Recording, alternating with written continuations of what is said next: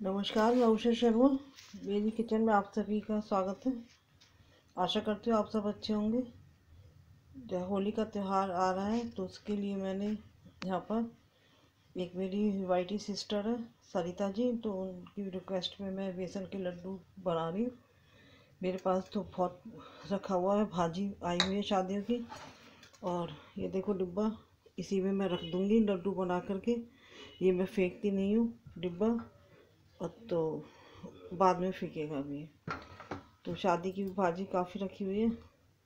और अब होली पे बना तो भी लेंगे, इसलिए मैं ये पहले बना के दिखा रही हूँ। तो ये छोटी कटोरी बेसन लिया मैंने, ये कम मात्रा में बनाऊँगी। और ये बड़ी कटोरी बुरा है ये। चीनी लेते हैं तो इसका हाफ़ होता है, क्योंकि चीनी हैवी होती है। लेकिन अगर चीनी को हम बुरा बनाएँगे तो जितनी हाफ़ कटोरी हमारी चीनी होगी, उसका ही डबल बुरा बन जाता है। तो इसलिए मैंने फुल भर कर के ली है। तो इसमें जो कैपेसिटी होती है, इसकी ज़्यादा मात्रा में होती है। मीठा हाफ़ कटोरी चीनी के बराबर ही रहेगा ये।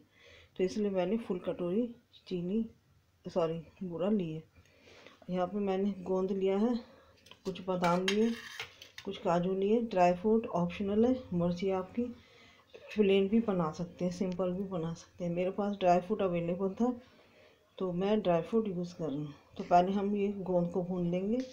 कढ़ाई में मैं घी डाल दूँगी और गोंद को इसमें भून लेंगे।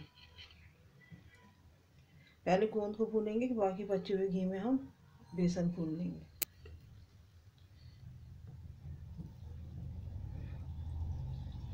अभी मैंने थोड़ा ही घी डाला है।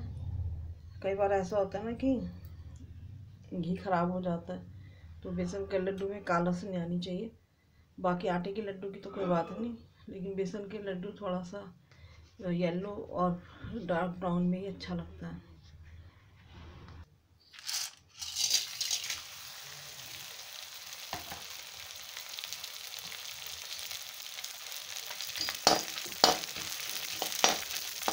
यहाँ मैंने जान बूझ कर ही थोड़ा सा कम लिया है।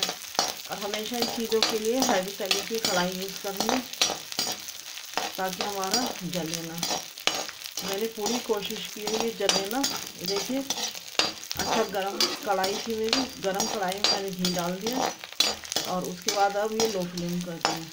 अगर हाई फ्लेम रहती तो ये गोंद जल जाता और हमारा घी भी ख़राब हो जाता। घी को हमें सुरक्षित रखना था ताकि हम बेसन इसी में भून।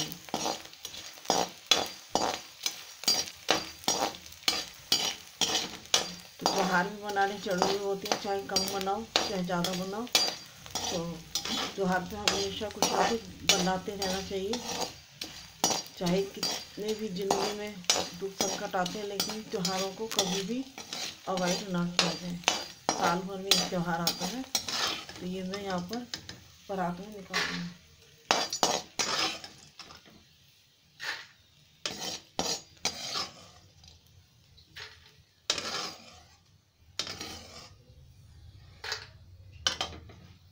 मैंने इसमें निकाल लिया और इसको हम पूरा बरीक भी कर सकते हैं।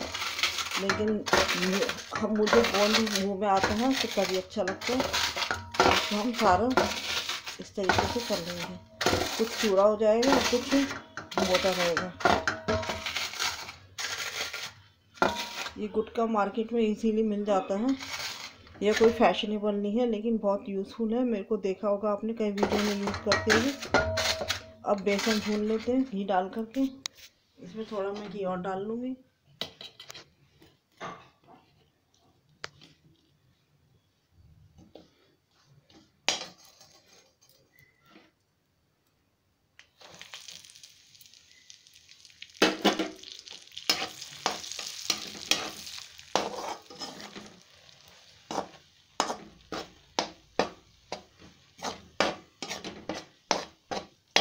और अभी देखती हूँ घी पिघल जाएगा।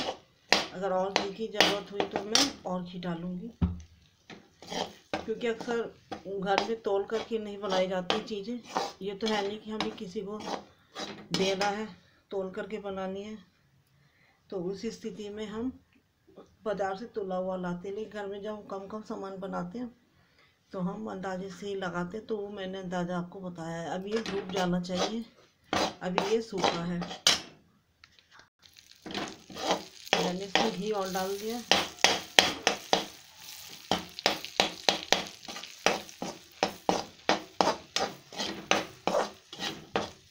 और मीठा में उस हिसाब से लेना है। घी भी हमारा फीका है और बेसन भी हमारा फीका है। अभी देखिए हमारा बेसन पूरा हलवे की तरह हो गया है। अब हम इसे चलाते हुए पकाना है।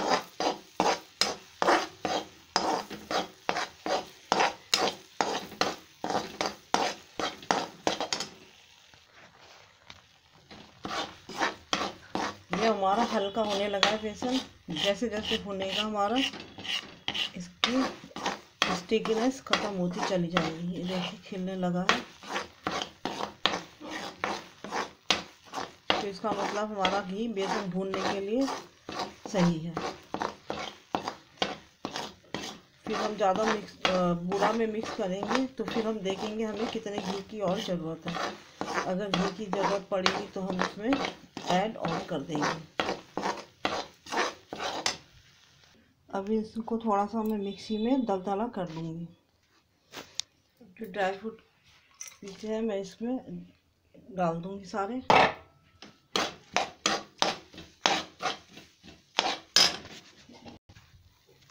अभी बेसन मेरा भुन गया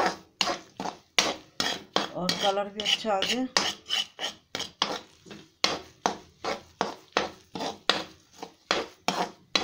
ड्राई फ्रूट भी थोड़ा सा रोस्टेड से हो गए इसमें। और अब थोड़ा मौसम, गर्मी का आना शुरू हो गया। तो ये होली के आसपास तो वैसे भी ठंडी चीज़ें बनती हैं, ठंडाई का होली के दिन हमारे यहाँ ठंडाई ज़रूर बनती है। और मटका कुल्फ़ी जिसको बोलते हैं कुल्लड़ वाली, वो ज़रूर आती है। घर में कांची बनती है। तो मैं इसमें सौंठ नहीं डाल रही अगर सर्दी में बनाती हूँ तो मैं इसमें सौंठ डालूँगी। और ये जो गोंद हमने लिया है, गोंद अगर आपके घर में थोड़ा सा डाल रहे हैं तो कोई बात नहीं। और अगर आपके घर में जेंट्स खाने वाले हैं तो जेंट्स मीन्स लड़के या यंग जनरेशन के हैं तो उनको गोंद कम से कम खिलाया जाए। उससे वैसे तो मालूम होता है सबको, दिक्कतें आती हैं कुछ। और बुज़ुर्गों के लिए बनाया जाए, जेंट्स के लिए तो कोई बात नहीं, उनको जितना मर्ज़ी गोंद खिलाइए। लेकिन न्यू जनरेशन के बॉयज़ को, यंग जनरेशन के जेंट्स को गोंद कम खिलाया जाए तो दिक्कतें आती हैं। नहीं समझ में आए तो फिर कभी किसी वीडियो में मैं थोड़ा सा एक्सप्लेन कर दूँगी। अब बेसन को इसमें डाल लेंगे अब इसको बेसन को, बूरा को सबको हम मिक्स कर लेंगे अच्छे से। और अभी ये गर्म है तो मैं करछी से ही ऐड करूँगी। अभी देखिए मिक्सिंग होके ऐसे बन गया है ये। ड्राई फ्रूट सब मिक्स कर लिया मैंने। अब इसका मतलब हमारा ये बाइंड हो हो जाएगा तो ये लड्डू अच्छा आसानी से। अभी तो मेरा एक हाथ है, दोनों हाथों से हम इसके लड्डू बाँध लेंगे। इस उंगली को ना लगाया जाए। लड्डू हमेशा इस उंगली इस उंगली को हटा करके बनाए जाते हैं। इस तरीके से बाइंडिंग होती है। जब भी आप इस उंगली को लगाएँगे, आपका लड्डू हमेशा फूटेगा। इस उंगली को अलग ही रखिए और इस उंगली से आप अंगूठे और तीन उंगली से ऐसे बाइंड करते हैं। हलवाई दो हाथों से करते हैं ना। ये देखिए, हमारा एक हाथ से लड्डू हमारा रेडी हो गया। तो इस उंगली को ना लगाएँ। जब भी ये उंगली लगेगी, आपका लड्डू हमेशा फूटेगा। जो इसका बैलेंस है, ये तीन उंगलियों से और एक अंगूठे से ही बनता है। कभी भी आप हलवाइयों को देखना, ये उंगली अलग रहती है उसकी। ठीक है ना?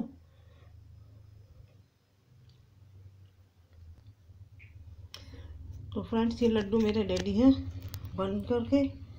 और इसमें देखिए, बारह लड्डू बन गए हैं मेरे। इस साइज़ के, जो स्टैंडर्ड साइज़ मार्केट में आता है। और जैसा कि मैंने गोंद का बताया है तो बेसन के लड्डू में मैं डाल लेती हूँ। अगर कभी कभी ऐसा होता है, गर्मी में केवल बादाम ही डालती हूँ। ज़रूरी नहीं है कि ड्राई फ्रूट डाला जाए, मेरे पास थे तो मैंने डाल दिया। और मार्केट से भी हम लाते तो ड्राई फ्रूट और गोंद वाले ही लाते हैं, क्योंकि दिवाली पर इतना टाइम नहीं हो पाता है। इतनी पूजा होती है पाँच दिन के लिए कि किचन में सब कुछ बनाना संभव नहीं होता तो ड्राई फ्रूट डाल के ही मैं बनाती हूँ अक्सर। कुछ ना कुछ तो डाल ही देती हूँ। तो जैसा कि गोंद के लिए बताया है तो उसके लिए यह है कि जो डिफरेंस एक लड़की और लड़के में होता है, जिसके कारण पहचाने जाते हैं तो उसी से रिलेटेड प्रॉब्लम्स बॉयज़ में जेंट्स में यंग जनरेशन में आ जाती हैं। जो भी समस्याएँ आती हैं, बहुत सी समस्याएँ होती हैं। सबसे पहली समस्या तो है कि जो है, कुछ जनरेशन में शिकायतें होती हैं कि बच्चे नहीं हो रहे तो इस टाइप की प्रॉब्लम्स आ जाती हैं। तो मेन प्रॉब्लम तो मेरी माँ यही बताती थी। मुझे तो ये ये प्रॉब्लम सबसे ज़्यादा बताई गई है। तो इसलिए मैं अपने घर में ये ध्यान रखती हूँ लड्डू बनाने का। और ओल्ड एज में तो मर्ज़ी है आपकी, खाओ ना खाओ, कोई फ़र्क नहीं पड़ता। लेकिन यंग जनरेशन के बारे में हमें सब कुछ सोचना पड़ता। है तो बहुत से लोग नहीं जानते हैं, ये समस्या देखी भी गई है। इसलिए मैंने आज ये आपको बहुत कहने की, समझाने की, एक लाइन में कहने की कोशिश की है। तो प्लीज़ उस लाइन को समझ जाना। इतना ही काफ़ी है। इससे ज़्यादा मेरे लिए संभव नहीं है। तो जैसी भी रेसिपी आपको समझ में आए, बनाइएगा। और न्यू ईयर्स लाइक कीजिए शेयर कीजिए सब्सक्राइब कीजिए। जब तक आप वीडियो को शेयर नहीं करेंगे, तब तक कोई वीडियो वायरल नहीं होती है। और तब तक फुल सपोर्ट नहीं करेंगे तो तब तक वॉच टाइम नहीं मिलता है। और मोनो होने के बाद भी वॉच टाइम की बहुत ज़रूरी होती है। तो थैंक्स फॉर वॉचिंग फिर मिलते हैं नेक्स्ट वीडियो में किसी नई रेसिपी के साथ।